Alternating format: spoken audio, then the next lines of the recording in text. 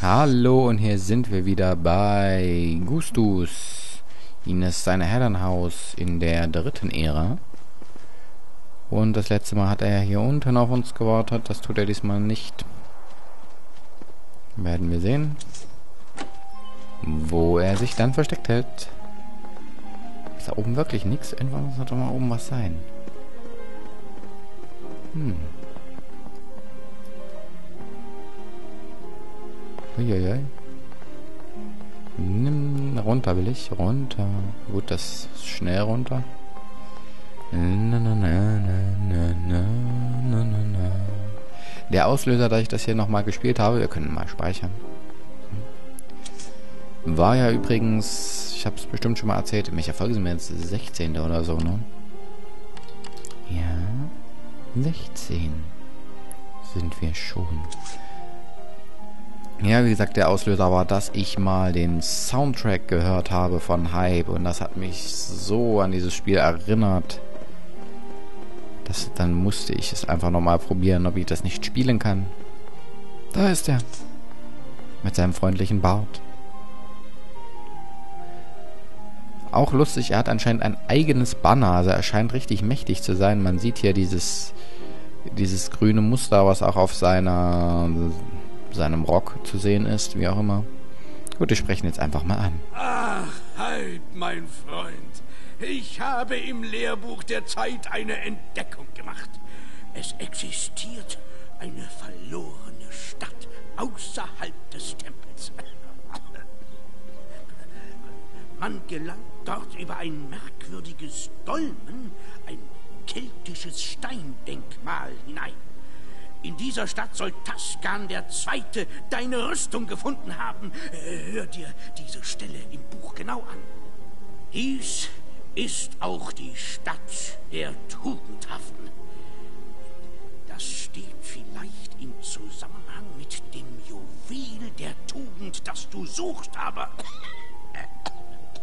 Aber ich weiß nicht, wo dieses keltische Steindenkmal zu finden ist. Ich weiß nur, dass die Räuber es für dich im Wald suchen. Viel Glück. Zumindest diesen letzten Punkt wussten wir ja auch schon. Es scheint leider langsam allmählich zu Ende zu gehen mit unserem guten Freund über mehrere hundert Jahre wahrscheinlich. Oh, Verkehr ist ja Ich weiß gerade gar nicht, wie viele Jahre das so mit den einzelnen Epochen sind. Ich weiß auch gerade gar nicht mehr, wie viele es insgesamt waren, aber es waren auf jeden Fall, glaube ich, 200 oder auf jeden Fall mehrere hundert. Und selbst wenn die Zeitsprünge immer größer werden, also immer ein kleiner Schritt, ein größerer Schritt, ein noch größerer Schritt, selbst dann hat er ja ganz schön was auf dem Buckel. Und er wurde ja nicht geboren, als wir das erste Mal kamen. Da war er ja auch schon wer. Hm. Sechs von zehn. Ah.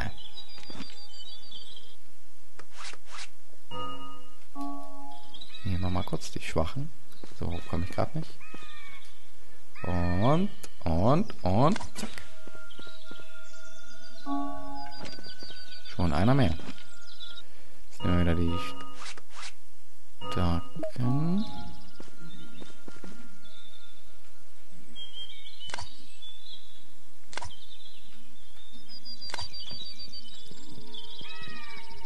Greifen die mich hier gar nicht an?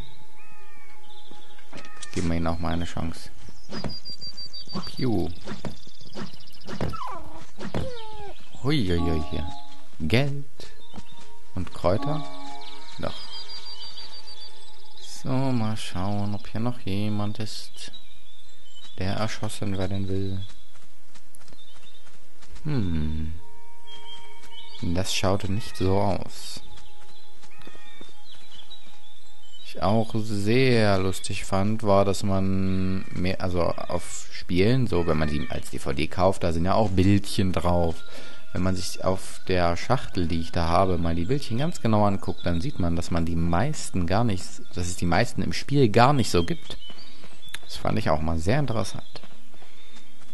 Das kümmert euch wahrscheinlich gar nicht, aber das ist mir gerade egal. So, schauen wir mal. Ah, die greifen mich ja gar nicht an. Und ihnen ist tatsächlich der Durchbruch gelangt. Ganz schön weit, der Durchbruch. Hallo. Ah, Hype. Ich bin glücklich, dich zu sehen. Sehr glücklich. Meine Mutter hatte recht. Du bist... Ah. Wir haben endlich das gefunden, was auf dem alten Plan von Taskan II. eingezeichnet war. Es ist ein keltisches Steindenkmal. Sei aber vorsichtig, es ist merkwürdig. Wenn man sich ihm nähert, verstummen die Tiere. Hype, ich... Äh, viel Erfolg. Wenn ich nicht besser wüsste, würde ich sagen, die steht auf uns. Und oben mal speichern. Speichern. Da, da, da. Ja, speichern. Ne? Wir sind immer noch in der 14. Folge. Zack. Und da ist auf jeden Fall noch ein... Tjo. Hm, kommt schon. Pio. 8 von 10. Und tatsächlich, die Tiere sind stumm.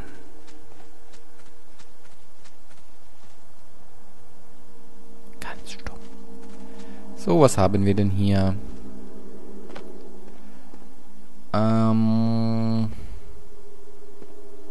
Zeichen, die zufälligerweise genau auf einen Stein hinzeigen.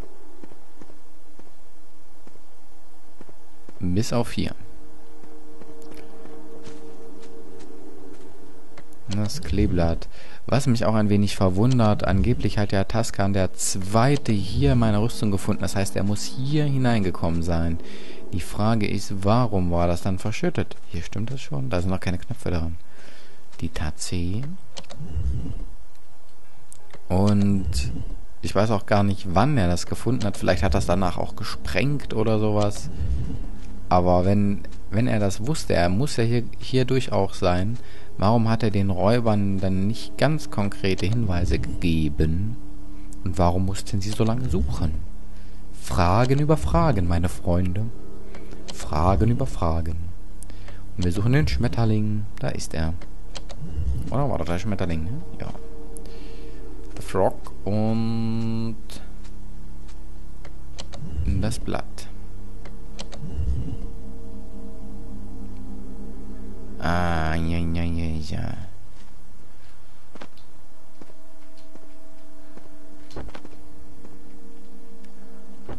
Zack und zack und zack und zack und zack und zack.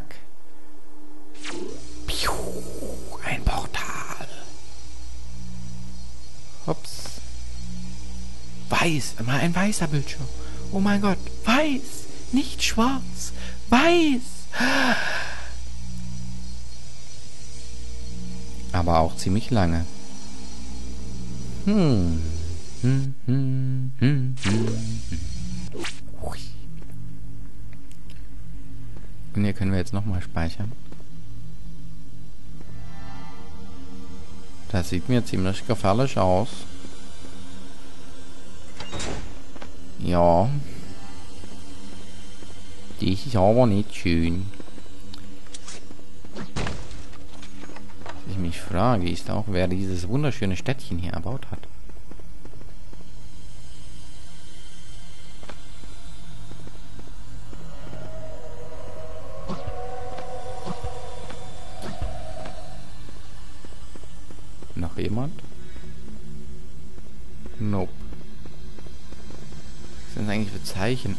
Ein goldenes Einhorn auf lila Grund. Und hier sieht man so ganz knapp im Licht durchsichtige Plattform. Da ist noch eine. Hui. Hui.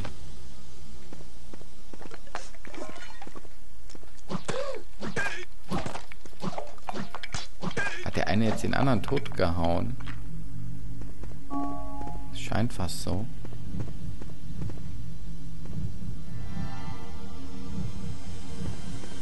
Hm.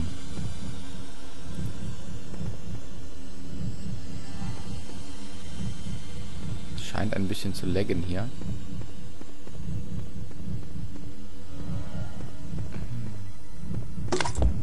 Au. Oh, und in der Mitte kommt hier noch so ein, so ein fettes Teil hier.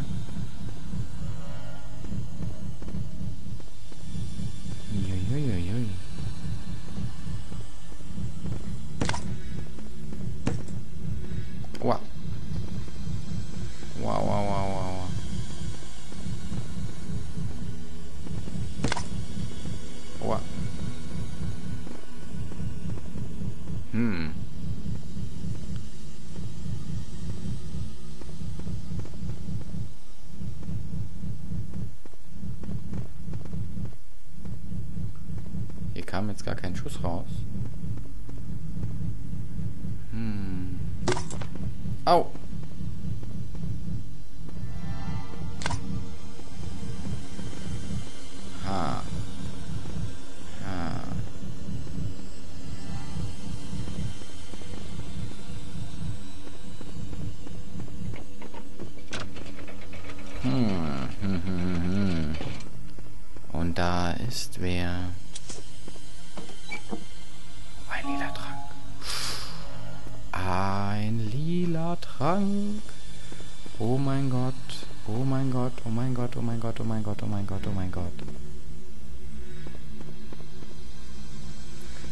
Entschuldigt Leute, bevor wir jetzt hier reingehen, muss ich mal ein kurzes Päuschen machen.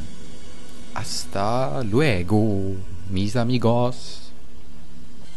Hallo und herzlich willkommen zurück bei Hype the Time Quest, immer noch in derselben Folge, nachdem ich meine Aufnahme unerwartet äh, pausieren musste und nicht nur das.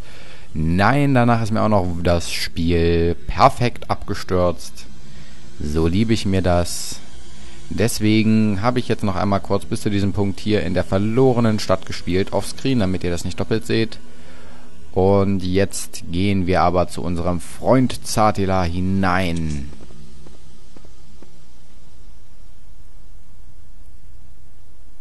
Na, du, wie kommst du denn hierher?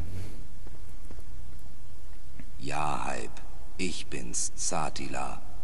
Du siehst mich hier in meiner Eigenschaft als göttliches Tier. Ich bin der Hüter des Juwelensaales. Wir befinden uns in der letzten göttlichen Bastion. Die Götter haben nicht das Recht, sich in die Dinge der Menschen einzumischen. Sie haben deshalb diesen Ort außerhalb von Zeit und Raum geschaffen. Und Taskan II. hat dich bis hierher geleitet, dank eines Plans, den er den Räubern gegeben hat. Du bist also von einem Menschen geleitet worden und nicht von einem Gott. Du musst jetzt beweisen, dass du das Juwel der Tugend verdienst, indem du deinem schlimmsten Feind gegenübertrittst, der Untugend. Dies ist das einzige Hindernis zwischen dir und der Macht des Juwels. Die Zeit ist gekommen, Hype. Als Drache bitte ich dich zu kämpfen. Als Freund hoffe ich, dass du gewinnst. Och, wenn's weiter nichts ist, unser schlimmster Feind hier. Unser Ebenbild. Einer schwarzen Rüstung.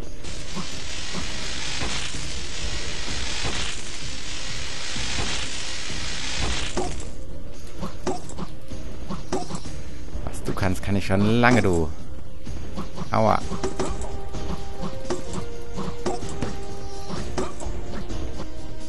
Nehmen. Nein, nein, nicht. Nehmen wir ganz kurz hier ein Crankchen.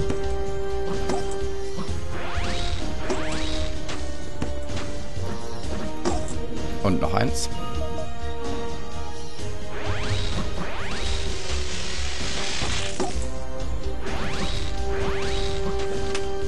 Ja! Sieg!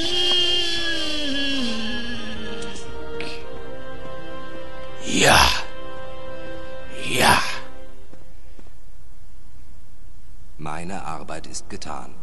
Nur ein perfekter Ritter kann deine Rüstung das königliche Juwel, das Juwel der Menschen und das Juwel der Tugend besitzen. Und er allein kann das Königreich befreien. Ich wusste, dass nur du als der vollkommene Ritter hier eines Tages mit dem letzten Juwel herausgehen konntest. Ich durfte nicht mehr sagen. Du musstest ganz allein deinen Wert beweisen. Aber jetzt kann ich reden.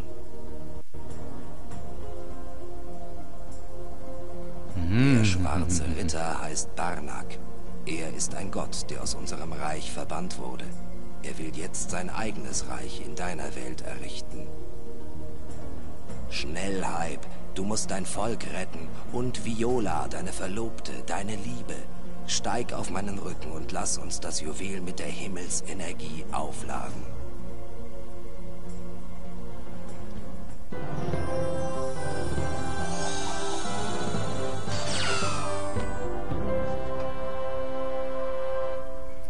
Jetzt besitzt du das Juwel der Tugend. Aber ganz ehrlich, unser schlimmster Gegner ist doch nicht die Untugend, sondern der schwarze Ritter, oder?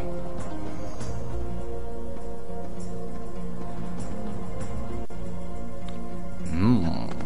Hops. Hoch geht's.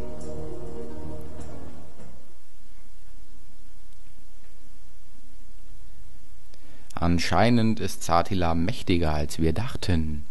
Denn er kann uns hier wieder aus dieser verlorenen Stadt herausbringen. Da haben wir aber Glück, sonst wären wir da jetzt echt gefangen gewesen, ne? Und da ist schon die Himmelsmusik. Jetzt ist auch der Bildschirm da. Es ist viel schwieriger, tugendhaft zu sein als schlecht. Das Juwel der Tugend verlangt 60 Energieprismen zum völligen Aufladen. Jo, so, ich habe auch festgestellt, wir haben das letzte Mal falsch gespeichert. Wir müssen das hier drüber speichern. So. Zack. Gut, ähm, aber nichtsdestotrotz, ich werde jetzt trotzdem diesen Part hier beenden und verabschiede mich bis zum nächsten Mal bei Hype the Time Quest. Seid auch wieder dabei. Ciao.